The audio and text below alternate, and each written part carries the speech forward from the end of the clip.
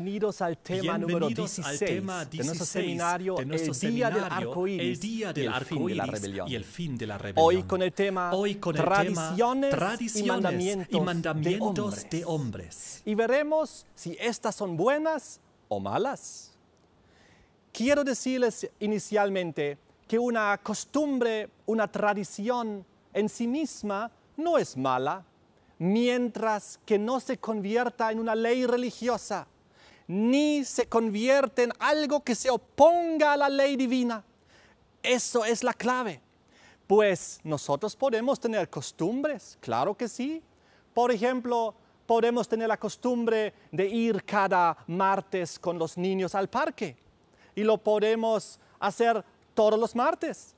O podemos tener la costumbre de ir una vez por mes a un restaurante específico. No hay nada malo en eso, mientras que cumpla los dos requisitos. Número uno, que no se oponga a la ley de Dios. Y número dos, que esta nuestra costumbre tampoco se convierta en una ley religiosa. Saben, yo les quiero leer del diccionario lo que significa costumbre. Es, un, hábito, adquirido, por la práctica frecuente de un, acto. A través de la costumbre y de la repetición, una costumbre llega a ser una tradición. Pero luego la gente puede decir, siempre ha sido así y siempre tendrá que ser así. Es decir, cuando ya la costumbre o la tradición se convierte en algo firme y estable que no se puede mover, como si fuese una ley religiosa, ahí es donde el problema comienza. Hoy en día mucha gente dice, se escucha decir, católico nací y católico moriré. ¿Alguna vez escucharon esto? Pero eso es absurdo, no hace sentido. Es como hablar de personas que han nacido en el ateísmo y que digan, ateo nací y ateo moriré porque así me enseñaron mis padres. O personas que, que han nacido en un hogar pagano que digan, pagano nací, pagano moriré. No hace sentido. Lo que nosotros debemos hacer como seres humanos es ver si las costumbres o las tradiciones en las que creemos y las que hemos recibido de los padres son correctas o no. Eso es el punto. Tenemos que analizar y verificar si lo que creemos, si las costumbres y tradiciones a las cuales seguimos son buenas o no lo son. Yo quiero decirles, ya que este seminario enfoca el gran conflicto entre el bien y el mal en relación al Dios Sol y al Dios Creador de los cielos y de la tierra, el sábado como día de descanso del Creador versus el día del sol de la primera semana, hoy en día con el nombre domingo. Y les voy a decir que desafortunadamente el descanso dominical se convirtió en una costumbre y tradición humana mala. ¿Y por qué? Por las dos razones que hemos dicho inicialmente. Porque en un primer lugar se puso en contra de las enseñanzas de las Sagradas Escrituras y en segundo lugar porque se convirtió en una ley religiosa seguida por miles, millones, cientos de millones de personas a nivel mundial. Yo les quiero leer lo que Jesucristo dice respecto a las tradiciones de los hombres. Mateo 15, versículo 3. ¿Por qué también vosotros quebrantáis el mandamiento de Dios por vuestra tradición? Qué impresionante. Jesucristo dice claramente que los mandamientos de Dios deben estar por encima de cualquier tradición humana, no al revés como está ocurriendo. Y sigue diciendo el Señor en el versículo 6. Así habéis invalidado el mandamiento de Dios por vuestra tradición. Y fue un conflicto fuerte en aquel entonces. Jesucristo se opuso firmemente contra las tradiciones de los hombres que se pusieron en oposición y contradicción con la ley de Dios de los diez mandamientos. Porque el contexto de lo que estamos leyendo aquí de Mateo 15 es el contexto de los diez mandamientos. Pues Jesucristo pone el ejemplo del quinto mandamiento que dice que debemos nosotros honrar a nuestros padres. Así que el contexto que Cristo pone para decir que debemos guardar los mandamientos y las tradiciones no debemos permitir que se opongan está en relación a los diez mandamientos de Dios. Sigue diciendo el Señor en el versículo 9 pues en vano me honran enseñando como doctrinas mandamientos de hombres. Ese es el problema. Y Cristo dice claramente, en vano me honran si hacen estas cosas. Jesucristo es el creador del sábado, Jesucristo es el Señor del sábado, es su santo día. Y si Él nos dice estas cosas, entonces es de máxima autoridad y nosotros debemos hacerle caso. Palabras parecidas Jesús dice, en el libro de Marcos capítulo 7, versículo 8. Porque dejando el mandamiento de Dios, os aferráis a la tradición de los hombres. Y nuevamente lo pone en el contexto de los diez mandamientos, con el ejemplo del quinto mandamiento. Y sigue diciendo el Señor en el versículo 9, bien invalidáis el mandamiento de Dios para guardar vuestra tradición.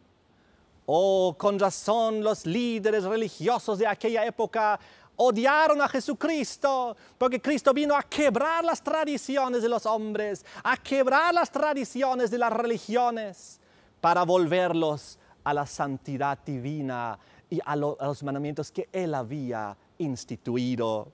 Y termina aquí en Marcos 7, versículo 13, diciendo, invalidando la palabra de Dios con vuestra tradición que habéis transmitido. Qué terrible. Invalidar la palabra de Dios, invalidar los mandamientos de Dios por causa de las tradiciones de las religiones. ¿Saben? Esto es algo muy serio. No solamente fue Jesucristo quien dijo estas cosas. Yo quiero con ustedes leer Tito, el capítulo 1. Y aquí en el versículo 13 y 14 dice, este testimonio es verdadero, por tanto, reprendelos duramente para que sean sanos en la fe. ¿Y en qué contexto está diciendo esto? No atendiendo a fábulas, no atendiendo a mandamientos de hombres que se apartan de la verdad. Qué impresionante. Las tradiciones humanas, los mandamientos de los hombres se apartan de la verdad de Dios, de los mandamientos divinos que Él escribió con su propio dedo en tablas de la ley. Luego dice aquí en Colosenses 2, el versículo 8, mirad que nadie os engañe por medio de filosofías y huecas sutilezas, según qué? Según las tradiciones de los hombres, conforme a los rudimentos del mundo y no según Cristo. Es realmente un problema esto de las tradiciones cuando uno se convierten en ley religiosa y dos se oponen a la palabra de Dios y están en contradicción con ella. Pues esto llega a ser algo muy peligroso, tan peligroso que personas que ponen la tradición encima de la Biblia llegan a perseguir a aquellos que ponen las escrituras y la voluntad de Dios por encima de cualquier tradición? Les quiero dar el ejemplo de Pablo. Si ustedes abren conmigo en Gálatas capítulo 1, versículo 13 y 14, vemos la experiencia de Pablo y él dice, mi conducta en otro tiempo, cuando yo perseguía sobremanera a la iglesia de Dios. ¿Y por qué perseguía a la iglesia de Dios? Dice, yo aventajaba a muchos de mis contemporáneos en mi nación, siendo yo mucho más celoso de las tradiciones de mis padres. Así que, ¿por qué Pablo perseguía a los cristianos? Porque él puso las tradiciones de los padres encima del mandamiento de Dios. Es muy peligroso, pues así, a través de las tradiciones, las personas pueden llegar a ser perseguidores. Yo les quiero hablar de los tres libros originales de las tres grandes religiones que se fundaron directa o indirectamente aquí de la palabra de Dios de Abraham. Ustedes saben, son el judaísmo, el islam y el cristianismo. El judaísmo acepta como su libro original y divino el Antiguo Testamento, también conocido como la Torá. El cristianismo acepta como su libro original y divino toda la Biblia, tanto el Antiguo como el Nuevo Testamento. Y la religión del Islam acepta también la Biblia, pero ellos tienen como su libro el Corán. Y el Corán que les fue dado a través de Mahoma.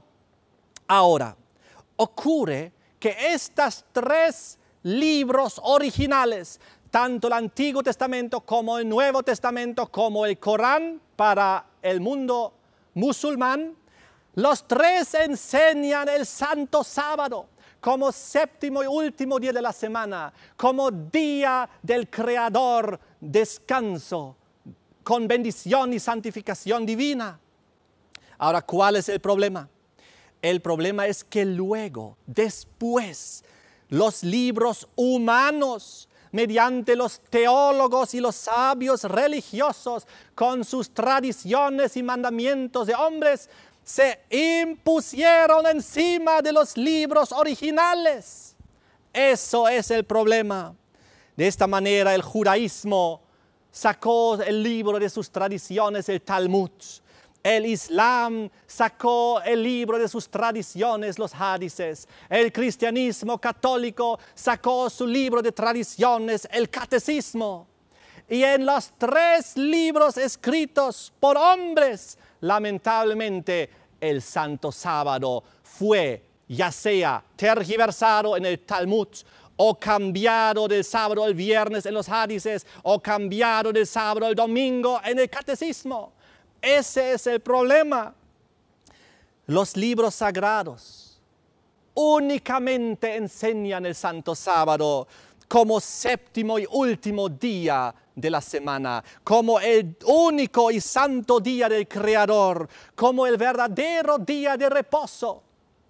El problema es que los teólogos religiosos de las grandes religiones, tanto los rabinos como los imanes, como los sacerdotes también, elevaron sus libros con sus tradiciones de hombres, aquellos libros humanos posteriores a los libros originales y divinos, encima de los libros que Dios había inspirado inicialmente, pero sobre todo en un punto, en cuestión del día de reposo, en relación al sábado y con su cambio a otros días.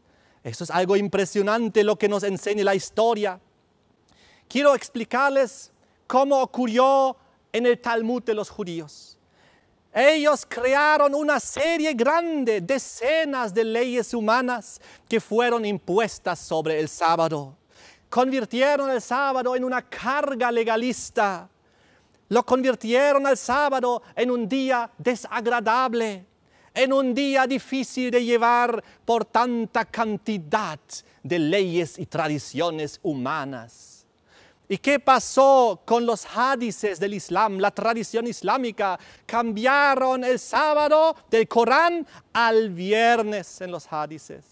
¿Y qué pasó con el catecismo romano, con las tradiciones romanas? Cambiaron el sábado al domingo en sus tradiciones. Este es el problema. El problema es que los libros humanos, en contradicción de los libros originales y divinos, se han impuesto. Y hoy en día multitudes son engañados millones, cientos de millones, podríamos decir hasta miles de millones de seres humanos religiosos de las diferentes grandes religiones están siguiendo las tradiciones de los hombres y ya no están siguiendo los mandamientos de Dios. ¿Y por qué es esto? Porque no estudian, porque ya no leen y estudian por su propia cuenta los libros originales. Ese es el problema. Entonces ellos solamente confían en sus líderes, ciegamente siguen a sus líderes, siguen las costumbres y tradiciones de los hombres. Ese es el gran problema. Ellos ya no saben lo que está escrito. Y si nosotros no sabemos lo que está escrito, también seremos engañados por las tradiciones y las costumbres populares de este mundo, y por los líderes religiosos, y por las grandes religiones. La Biblia dice en Apocalipsis 12:9 que el diablo engañó al mundo entero y realmente hizo una maniobra para elevar costumbres y tradiciones contrarias a la palabra de Dios encima de la Biblia. Qué cosa más triste. Es por eso que una vez yo hice un dicho, la logia más peligrosa es la teología. Nosotros debemos ir a la palabra de Dios directamente. Ahí está la solución. Entonces, siguiendo el ejemplo de Jesucristo, que no fue a estudiar al colegio de los rabinos ni de los sacerdotes, sino aprendió la palabra de Dios en su casa, leyendo ahí las sagradas escrituras y aceptando lo que estaba escrito ahí. Si Jesucristo hubiese opinado que el mejor camino sería atender a estudiar teología en una facultad, en un instituto, pues hubiese ido entonces a hacerse educar por los sacerdotes, por el Sanedrín, por los fariseos, por los escribas de su época, por los rabinos. Pero él decidió estudiar en su casa la palabra de Dios. Y yo les invito a hacer lo mismo. Así nosotros podemos llegar al original Ahora yo les quiero contar una cosa, una verdad muy importante. Ahora vamos a ver las tres grandes religiones que hemos mencionado que se originaron desde Abraham. El judaísmo, el islam, el cristianismo. Y vamos a ver ahora de qué manera sus tradiciones humanas se impusieron a las leyes divinas. Y ustedes se van a sorprender. Ocurre que las tradiciones judaicas sabáticas del Talmud distorsionaron la verdad del sábado. ¿Y por qué fue eso? Pues el diablo no tuvo éxito de que Israel, los hebreos, el pueblo de Dios de la antigüedad, cambie del sábado al día del sol. Ustedes saben que lo hemos analizado, todos los intentos que el diablo hizo en la antigüedad para doblegar a los hebreos al día del sol, al primer día de la semana, pero no lo logró. Así que el diablo tuvo que cambiar su estrategia respecto a los hebreos. Y la estrategia que el diablo utilizó fue la siguiente, tergiversar el sábado hacer que el sábado sea recargado por leyes y tradiciones humanas. De tal manera que estas leyes absurdas opacan la santidad del santo sábado, de tal manera de convertir el sábado en un día desagradable, difícil de llevar por todas las costumbres humanas impuestas sobre este santo día. Ustedes saben que el sábado debía ser un día de bendición, un día de regocijo, de comunión especial entre el ser humano y Dios. Pero lamentablemente por las tradiciones humanas recargando el sábado lo convirtieron en una carga pesada, de tal manera que era muy difícil que algún gentil, algún pagano a lo largo de los siglos y milenios se une a las filas del pueblo de Dios hebreo ¿Por qué? Por a causa de este sábado tan recargado de leyes humanas. Así que el diablo realmente hizo una obra sorprendente ahí. El liderazgo judío, los sacerdotes, escribas, fariseos, rabinos de la antigüedad, pervirtieron el sábado. Pervirtieron el sábado queriendo hacerlo aún más santo de lo que es con sus propias leyes humanas que lo recargaron. Muchas reglas minuciosas, absurdas, para que el sábado sea supuestamente aún más santo de lo que Dios le había hecho. Tremendo. En el tiempo de Jesucristo el sábado ya no era una delicia santa. Les quiero dar unos cuantos ejemplos del legalismo al cual llegaron ya hace dos mil años atrás. Miren esto. Se consideraba que una violación del sábado mirar en un espejo que estaba fijado en una pared.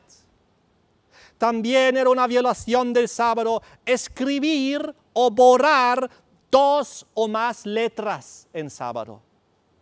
Era una violación del sábado tocar un instrumento musical. Era prohibido andar sobre la hierba en sábado. ¿Saben por qué? Porque tal acto sería considerado como la ejecución de una especie de trilla allá en el campo. Tampoco un judío podía caminar más de dos mil codos en sábado. Esta regla se llamaba la jornada de un día sábado.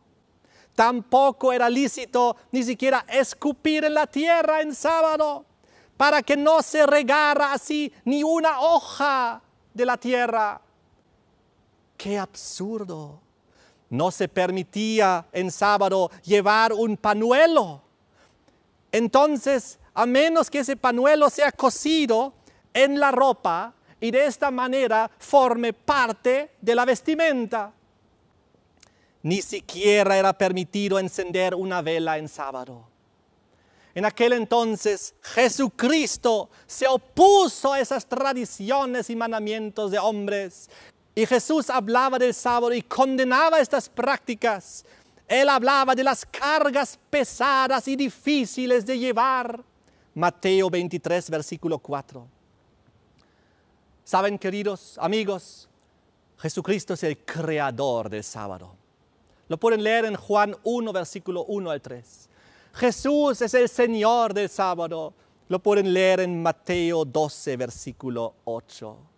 Entonces Jesús cuando vino al mundo y vio su santo sábado tan tergiversado, tan recargado por tradiciones humanas, él decidió derrumbar y derribar todos estos muros de las tradiciones y de los mandamientos humanos que el ser humano había puesto sobre su santoría. Es por eso que en la Biblia leemos que Jesús permitía a sus discípulos arrancar espigas de trigo en sábado. Mateo 2, 23 y 24. Jesús a propósito hizo la mayor cantidad de sanaciones en sábado para mostrar la santidad y la bendición de ese día. Jesús dijo que era permitido sacar un buey en sábado si se ha caído en un pozo. Lucas 14, 1 al 6. Jesús permitió al paralítico sanado cargar con su lecho en sábado. Juan 5, 8 al 16. Todo esto hizo Cristo para quebrar con estas tradiciones humanas, para volver el sábado a su santidad y a lo que originalmente era.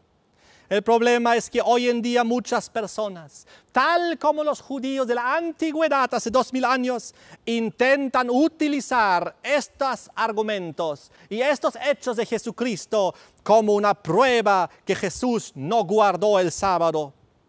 Pero esto es absurdo esto es ridículo, pues Jesucristo no vino a quebrar su santo día. Jesucristo no vino a quebrar el mandamiento. Jesucristo no vino a abolir el día que Él mismo creó, el que Él mismo santificó y bendijo, aquel día del cual Él es el Señor. No. Jesucristo no vino a quebrantar el sábado. Jesucristo vino a quebrantar las leyes y tradiciones y mandamientos de hombres y las cargas que el ser humano había puesto sobre el sábado. Jesucristo vino a quebrar con las tradiciones religiosas que habían desfigurado y distorsionado su santoría. Eso es lo que pasó. De esta manera Jesús liberó su santo día de las cadenas humanas. Jesús volvió su santo día a la gloria, a la santidad, al reposo, a la bendición, un día dichoso, glorioso. Saben, Jesucristo vino a deshacer las obras de Satanás. Eso es lo que pasó. Pero yo les quiero decir una cosa. Aunque los judíos tengan un sábado tergiversado hasta el día de hoy, los hebreos siguen siendo como pueblo una luz en relación al verdadero día de reposo. Pues los judíos nunca abandonaron el sábado, nunca abandonaron el cuarto mandamiento de la Biblia. Tampoco lo cambiaron por otro día como lo hicieron las otras grandes religiones. El Islam hacia el viernes, el cristianismo católico hacia el domingo. Por lo tanto, sobre los hebreos, sobre el pueblo de Dios, todavía hay esta luz de la verdad del Creador que creó el mundo en seis días y en el séptimo día descansó. Pero ahora les quiero hablar de la segunda grande religión que surgió de la palabra de Dios, que surgió indirectamente ahí también de la palabra. Estamos hablando del Islam. El Islam, con su tradición islámica, con sus hadices, también cambió la ley de Dios de los diez mandamientos, cambió el sábado hacia el viernes. Ustedes recuerdan en el tema pasado vimos, en un tema pasado vimos que el Corán enseña el sábado en vigencia. Mahoma mismo guardó el sábado. Pero ¿por qué el mundo musulmán guarda el viernes? Ya lo hemos analizado. Y lamentablemente por las tradiciones de los hadices fue confirmada y fue fundamentada esa transición del sábado al viernes.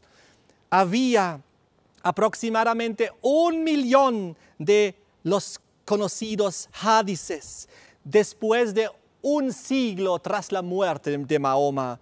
Hadices son como narraciones, como referencias de lo que Mahoma había dicho. Y de esta manera, de sus diferentes actos, de sus conversaciones de Mahoma, esta enorme cantidad de tradiciones que fueron relatadas y también compiladas por sus compañeros y también por aquellos que le sucedieron a Mahoma, tuvieron un problema. Porque en esa enorme cantidad de referencias, como un millón, había tradiciones diferentes y diversas, algunas contradictorias entre sí, algunas con diferentes puntos de vista y opiniones.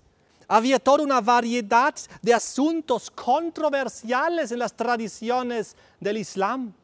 Fue así que comenzaron a depurar toda esta gran cantidad de referencias. La pregunta era, ¿Cuál de estas referencias es auténtica?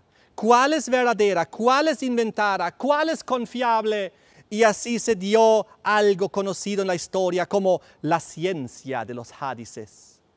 Y los estudiosos y eruditos agarraron este un millón de referencias y comenzaron a depurarlos y buscaron aquellos que sí son confiables y verdaderos. Y de esta manera depuraron y hicieron dos recopilaciones.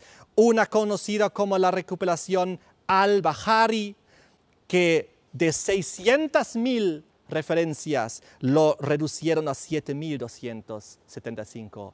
Y otra, la depuración de Muslim Balhai, que de 300 mil referencias lo resumieron en 9.200. Y eso fue aceptado finalmente. Pero lo que yo quiero decir y el problema radica en esto, de que esta tradición islámica finalmente impuso el viernes encima del sábado que estaba fundamentado en el libro original del Islam, el Corán.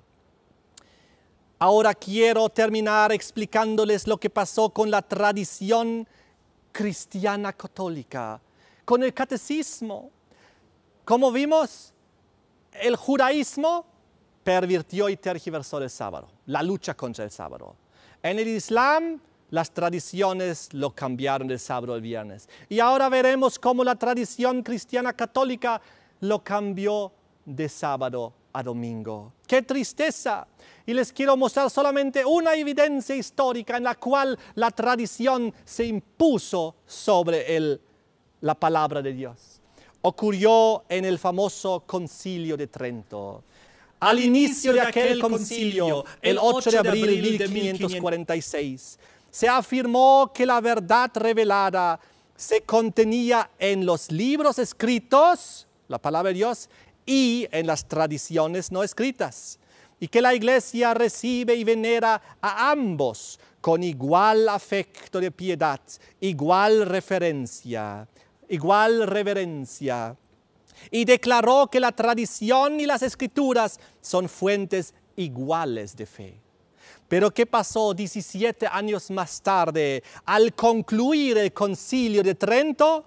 En el año 1563 se declaró que para la Iglesia Católica la tradición es mayor que las Sagradas Escrituras. Fue el 18 de enero del año 1563 después de un discurso poderoso del arzobispo de Regio, en el cual dijo que el hecho que la Iglesia católica y romana cambió el cuarto mandamiento, que dice, acuérdate del sábado para santificarlo, prueba claramente que la tradición está por encima de las escrituras. Eso es lo que pasó Lamentablemente la Iglesia Católica Romana en el Concilio de Trento elevó la tradición finalmente por encima de las escrituras y la prueba era que ella cambió el sábado al domingo. La prueba era que lo convirtió el cuarto mandamiento de la Biblia en el tercer mandamiento del catecismo y cambió de esta manera el día de descanso. ¡Qué impresionante! Sabemos que la Iglesia Católica también introdujo decenas de otras tradiciones y mandamientos de hombres a lo largo de los siglos y de los milenios. Esto fue porque cuando el cristianismo se convirtió la religión del imperio romano comenzó a absorber y asimilar el paganismo romano. Es por eso que el cardenal Newman admite en su libro El desarrollo de la religión cristiana en la página 359, que templos, incienso, aceite, velas, ofertas devocionarios, agua bendita, santos, fiestas y estaciones de devoción, procesiones, bendiciones de campos, vestiduras sacerdotales, la coronía de sacerdotes y monjes, imágenes, todo esto son de origen pagano quiero terminar diciéndoles una cosa. La palabra misma, tradición, viene del griego antiguo paradosis. Paradosis tiene un valor numérico de 666. Eso es si nosotros hacemos un cálculo según los equivalentes numéricos de las letras griegas de paradosis.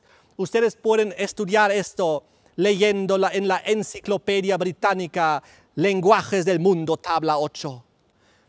El 666 es el número de la bestia, nos dice Apocalipsis 13, 18.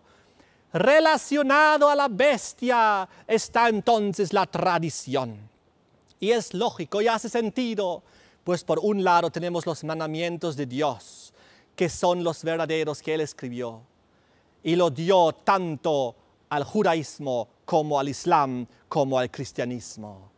Todos recibieron las tres grandes religiones que se originaron en la palabra de Dios, directa o indirectamente, recibieron el conocimiento de la voluntad del Creador del Santo Sábado, séptimo y último día de la semana, como día de reposo santificado y bendecido.